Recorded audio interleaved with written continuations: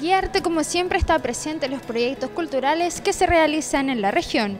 Es por eso que hoy nos encontramos en la inauguración de la muestra Fragmentación y Espacios Descentralizados del artista visual Carol Valdés. Todo esto y mucho más en la siguiente nota.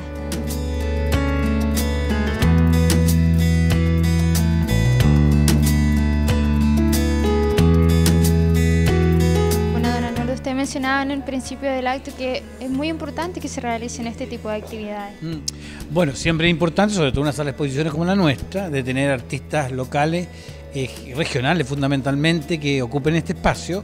Nosotros tenemos una, ahora de aquí a fin de año tenemos varias propuestas, digamos, de artistas que van a inaugurar en la sala.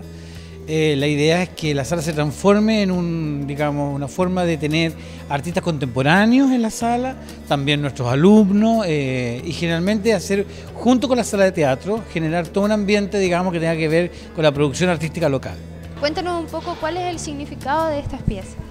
Eh, mira, cada pieza es trabajada como una pieza única, digamos, parte de una base plana, que se supone que es el encuentro de estas dos, dos choque de dos culturas que eh, desde donde parte nuestra historia fundacional. Eurocentrista aparte, eh, digamos, que hay otra historia que nosotros no hemos sido capaces de contar. Eh, en el fondo la obra lo que pretende es instalarse como, no sé, un reflejo de lo que nosotros mismos somos, en nuestra condición de latinoamericano. Y en ese sentido empieza el tema de los cruces, que sabemos que en el contexto eh, contemporáneo actual, las migraciones es un tema relevante para los países, el tema de la tecnología también, cómo eso también nos lleva a modificar nuestra manera de comunicarnos y de, no sé, pues de no solo de comunicarnos, sino de, de ver la realidad, digamos. Tiene mucho contenido y una obra que tiene también varias lecturas sobre todo la fragilidad, los fragmentarios, la sutileza, estos fragmentos que vuelan, el hecho que estén algunos fragmentos en la tierra, también habla del terremoto, habla de la, de recomposición, digamos, que hoy día tiene nuestra sociedad después de un, de un evento tan importante.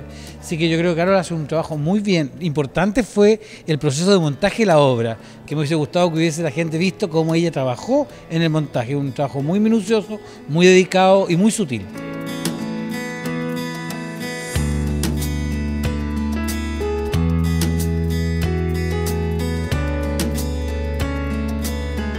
Bueno, don Marcelo, ¿qué le parece que se realicen este tipo de actividades acá en Concepción? Bueno, me parece bien porque el trabajo de Carol Valdés, que es una artista egresada de la Universidad de Concepción y que vive en San Carlos, es una demostración de que se pueden hacer estos intercambios entre comunas, digamos, artistas que vienen en San Carlos, mostrar su trabajo en Concepción y viceversa, llevar el trabajo de artistas de Concepción a otras comunas de la región porque a veces parece un poco centralizado solamente en la capital regional.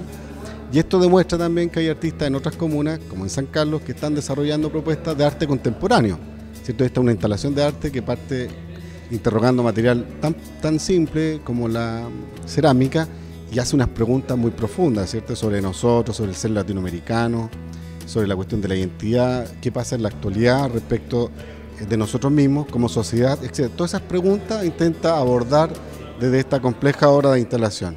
Es como eso, es como que necesitamos rescatar eh, la parte simbólica de nuestra sociedad, o sea, como que eso nos daría como consistencia y nos ayudaría a, pararnos frente al mundo de otra manera y que el resto nos viera, pero como nosotros queremos, o sea, es como, es como eso, es como, no como me están diciendo que yo soy, sino que es como realmente somos y valorarnos desde ahí. Yo creo que todo lo que necesitamos para, para no sé, para, para mejorar la calidad de vida, insisto, de, de nuestra sociedad, lo tenemos.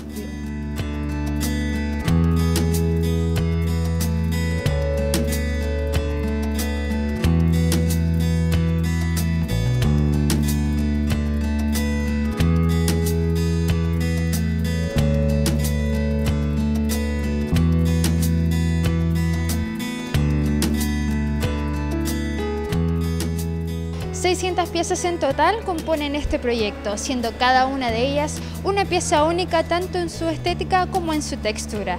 Esperamos hayas disfrutado de este interesante proyecto y nos encontramos la próxima semana, como siempre a través de las pantallas de Guiarte.